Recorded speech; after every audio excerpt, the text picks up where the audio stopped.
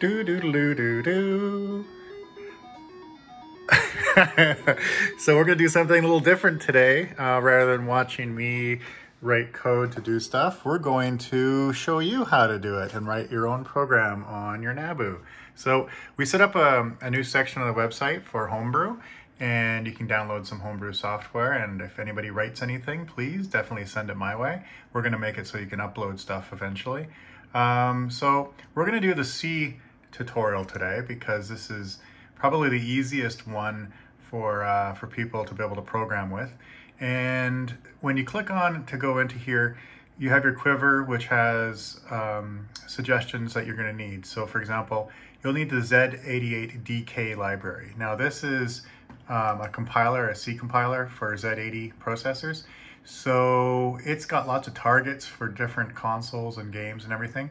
We're going to integrate the Nabu into there more closely, but for the way it is right now, we have some libraries that are included in the in the uh, example file.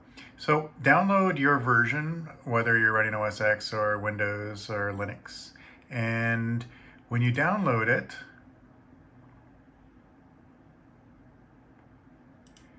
uncompress the folder into, I guess you could just do it inside your downloads folder first.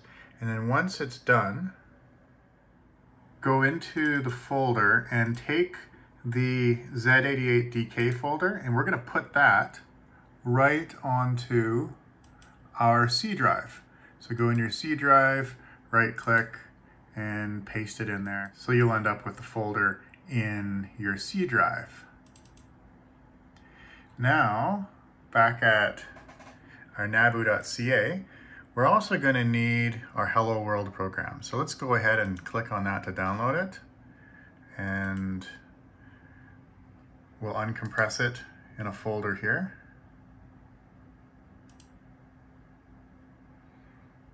And we'll just clean up this, this folder and get rid of stuff we don't need. There we go. Inside of our Hello World folder we just downloaded, there is a already compiled Nabu file, and we also have the source. So the source code, if we double click on it, you can open it in Notepad or Visual Studio Code, which is obviously quite popular.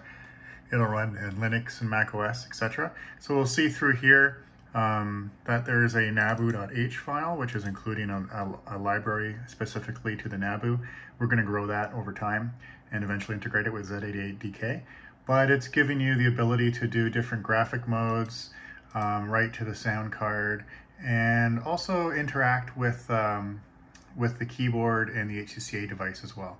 So you can view this and, and what the code looks like and what it does, but we don't need to specifically do that for this demo. Now to build the project, um, you have build.bat, but if you double click on it, it's not gonna work. It's not gonna do anything because you don't have uh, the environment variable set up for ZDK.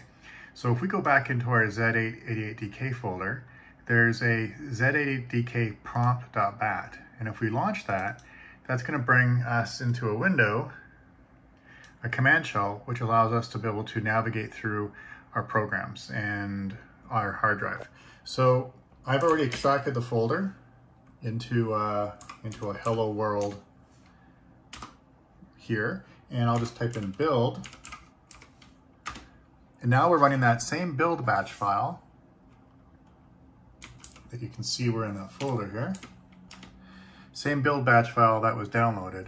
It's just that I'm running it from the command shell of Z88DK, so it has all the environment variables set up to compile it. Now I've edited my batch file to take the binary that is compiled and put it into a folder called um, C drive Nabu segments. And there it is. So what we're gonna do is we're gonna load up our Nabu internet adapter and go into settings and go to source and ensure that this is checked, use a local folder. And then also check this pack uh, ca cache clear because we want to clear the uh, cache every time we run it. That way, whenever you, um, you launch the program and recompile it, it's going to load the new one. So we're going to click select folder and we're going to navigate to our folder that has our compiled file in it. In my case, it's Nabu segments. Yours could be wherever you put it. and save it, start the Nabu emulator. And now on our Nabu, we'll power it up. And if everything goes as planned, we should have some annoying 8-bit music with uh, Hello World bouncing around on the screen. Got the beeps. There we go. So you can modify that little program and play with it and uh, do different things, but you have just wrote your first program to be on a Nabu. So you think about that. When you do this too, you're gonna be like the first handful of people in the world in 40 years to have written software that runs on this computer. That's pretty wild. And don't forget to share anything you've done, even if it's just modifying Hello World to say your name, or if you change the colors on the screen, or if you actually make the music sound better. But share and, well, like Douglas Adams says, share and enjoy.